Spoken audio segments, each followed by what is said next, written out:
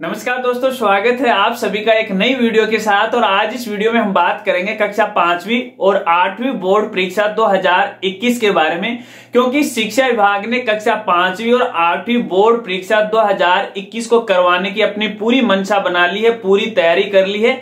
इसके लिए विभाग के द्वारा आदेश और दिशा निर्देश है, वो भी जारी कर दिए। इसलिए ये वीडियो उन अभिभावकों के लिए भी खास होने वाली है, जिनके छात्र या छात्राएँ कक्षा पांचवी या आठवीं में अध्ययनरत है और स्कूल साथियों के लिए भी तो बहुत ही खास होने वाली है, क्योंकि उनको भी लंबे अरसे से काफ़ी इंतज़ार था कि आखिरकार इस बार सेशन 2020-21 की कक्षा पांचवी या फिर आठवीं की बोर्ड परीक्षा आयोजित होंगी या नहीं होंगी। पूरी जानकारी इस वीडियो में मैं आपको बताऊँगा। वीडियो के साथ वो आप बने रहे तो चलिए वीडियो को शुरू करते हैं।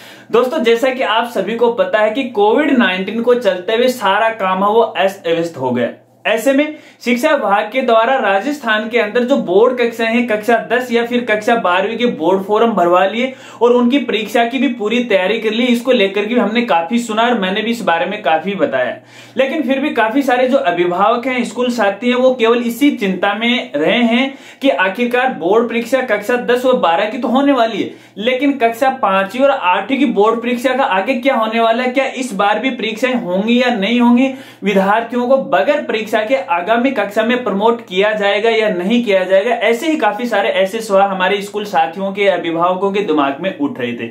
तो यहाँ पे दोस्तों, आप सबका इंतज़ार वो खत्म हो गया है, क्योंकि राजस्थान प्रारंभिक शिक्षा निदेशालय बीकानेर के द्वारा दिशा निर्देश जारी कर दिए हैं। इसकी गाइडलाइन है वो भी जारी कर दिए हैं और आदेश है वो भी जारी कर दिया है। कि कक्षा पांचवी और आठवीं बोर्ड परीक्षा 2021 वो हंड्रेड परसेंट वो आयोजित किया जाएगी। देखिए, फ़िलहाल यहाँ पे विभाग के द्वारा इसकी निश्चित डेट है, वो तो नहीं बताई गई। लेकिन एक अनुमान के द्वारा बताऊँ, जहाँ तक मुझे सूचना मिली है तो अप्रैल माह के अंदर कक्षा पांचवी और आठवीं की बोर्ड परीक्षाएँ हैं, वो आयोजित होने वाली है। इसलिए आप अपनी तैयारी है, वो कर ले।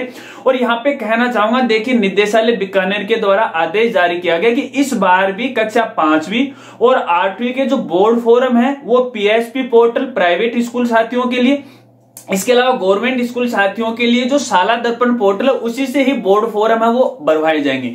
यहाँ पे निदेशालय ने ये कहा है कि गवर्नमेंट स्कूल और प्राइवेट स्कूल जो साथी हैं, वो पोर्टल के ऊपर, पीएसपी पोर्टल और साला दर्पण पर विद्यार्थियों का जो डाटा वो अपडेट कर ले। यानी विद्यार्थी के नाम में, पिता के नाम में, जन्म तिथि में, उनके सब्जेक्ट में, वगैरह वगैरह में पूरी जो डिटेल है, वो एक बार सही चेक कर ले। यदि उसमें कोई संशोधन करने की आवश्यकता है तो आप जल्दी से समय रहते हुए फोरम स्टार्ट होने से पहले पहले आप पोर्टल पे स्टूडेंट का डाटा है वो अपडेट कर लीजिएगा, वरना बाद में आपको दिक्कत आएगी क्योंकि एक बार बोर्ड फोरम भरा जाएगा। भरने के बाद उसमें डाटा में करेक्शन होने की कोई संभावना नहीं होती है। अगर लास्ट साल की अपन बात करें, तब भी काफ़ी सारे स्कूल साथियों के समक्ष ये समस्या आई थी।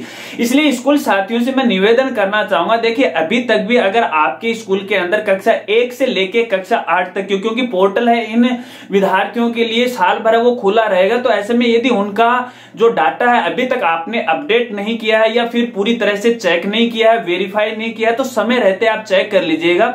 स्टूडेंट का जो जन्म प्रमाण पत्र है, आधार कार्ड है, उसकी लास्ट क्लास की जो मार्कशीट है, वगैरह वगैरह, उसमें क्या उसके नाम की स्पेलिंग है, पिता के नाम में, माता के नाम में, जन्म तिथि में एड्रेस वगैरह वगैरह, सारी चीज़ है, वो आप चेक कर लीजिएगा और समय रहते वो अपडेट कर लीजिएगा। फ़िलहाल पीएसपी पोर्टल पर और अपने साला दर्पण पोर्टल पे स्टूडेंट का डाटा वो एक कक्षा एक से लेके आठ तक है, वो अपडेट हो रहा है, उसमें किसी प्रकार की कोई दिक्कत नहीं है। अगर इसके अलावा भी कोई स्टूडेंट रह गया है, वो कक्षा एक से लेके आठ तक की मैं यहाँ पे बात कर रहा हूँ, उसमें पाँच और आठ के जो स्टूडेंट है, वो भी शामिल हो सकते हैं। अगर अभी तक पोर्टल पे आपने नहीं चढ़ाया तो आप जल्दी से वो चढ़ा लीजिएगा। और मुझे जहाँ तक लगता है कि मार्च के शुरुआती सप्ताह के अंदर शायद ये पोर्टल का काम है, वो शुरू हो जाएगा। आप चेक कर लीजिएगा। यहाँ अभिभावकों से मैं ये कहना चाहूँगा कि आप भी अपने स्टूडेंट या अपने छात्र छात्रा के नाम की स्पेलिंग वगैरह वगैरह आप चेक कर लीजिएगा कि कहीं कोई दिक्कत तो नहीं है, क्योंकि बाद में आपको दिक्कत आ सकती है। अब नहीं तो आप टेंथ क्लास में जाके जागरूक होगे तो समय बर्बाद करने से पहले ही आप अपने जो छात्र छात्र हैं, उनके नाम की स्पेलिंग वगैरह वगैरह आप अपने रिकॉर्ड से वो मिला लीजिएगा।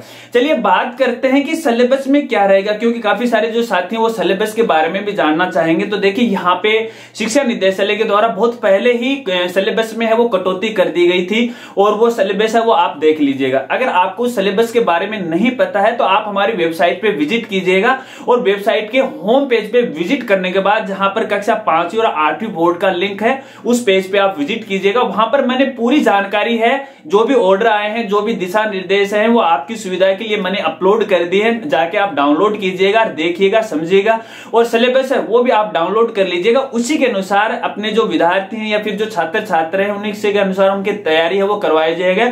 और यहाँ पे जो ब्लू प्रिंट है पेपर का, वो जल्दी ही जारी हो जाएगा। हालाँकि फ़िलहाल तो जारी नहीं है ब्लू प्रिंट है, वो भी जारी हो जाएगा। एक आध दिन के अंदर हो जाएगा तो आप वो भी देख लीजिएगा साइट पे वो आप अपडेट रहते रहिएगा।